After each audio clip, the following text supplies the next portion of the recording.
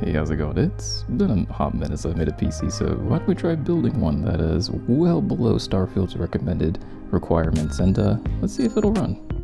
At the heart of our system, we have itself an Intel Core i5-3470. This is an 11-year-old CPU at this point, only supporting 4 cores and 4 threads, uh, with a base clock of 2.3.2 gigahertz.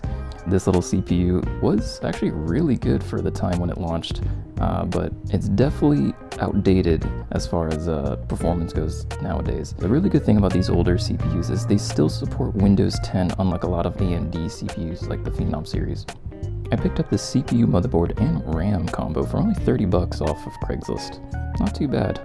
And the motherboard is a P8H61 board. This is a third generation Intel Core board that is well over 10 years old at this point. It does support PCI 3.0, but it's got random ports like this COM1 port, which I have no clue what it's for. But it does support TPM, which is pretty cool because that means you can you can get it to run Windows 11, but in my case, I'm just gonna run Windows 10 with it. It came with uh, bundled with 8 gigabytes of DD3 DIMM-R memory, DDR3 memory, and uh, well, I'm hopeful that it runs off 8 gigabytes. I'm not very optimistic, so we might have to throw another 8 gigabytes uh, just to make sure that it'll run. For a graphics card, we have a GTX 970. These were amazing graphics cards back in the day, uh, and they're still pretty potent today. Uh, they had a bit of con controversy around them because of the fact that they had a bit of false advertising as far as the total memory capacity, but honestly, that's, uh, that's pretty irrelevant today, especially given the price. You can pick these up locally or on eBay for anywhere from 40 to 50 bucks, and if you're on a tight budget, these are definitely worth the money. I'll be installing Windows 10 on a 256 gigabyte SSD, and this cost me around 20 bucks brand new, and you can actually find NVMe drives for $20, which is crazy to think about. For the case, I picked up this special edition Wanzi uh, Basket Series case. This case features an open air design and has plenty of room to throw all your components inside. Plus, it features a nifty carrying handle for uh, easy mobility of your computer. This is their Safeway limited edition model, and because it's so rare, it even has a couple stickers of authenticity to prove its legitimacy. But that's enough talking, let's, uh, let's actually get to some building and some playing.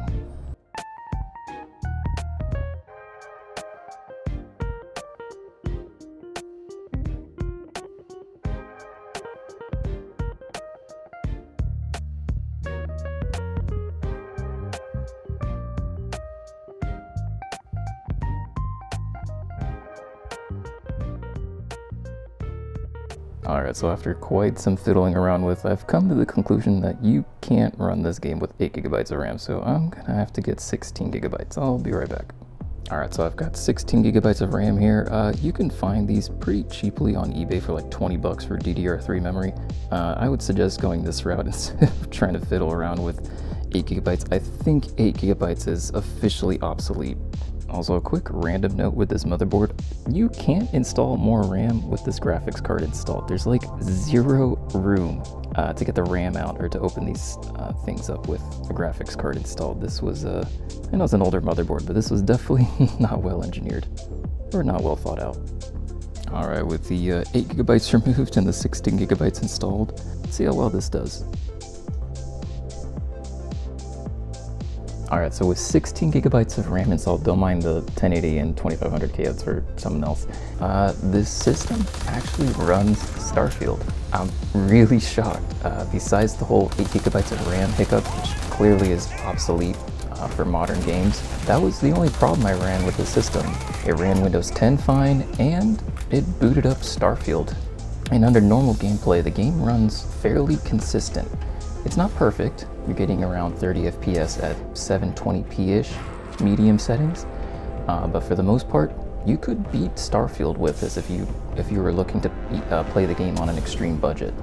It's only when you decide to mess around with the game, like you know, spawning 10,000 milk cartons on the moon for some reason, that's that's when the frame rate really tanks and becomes unplayable.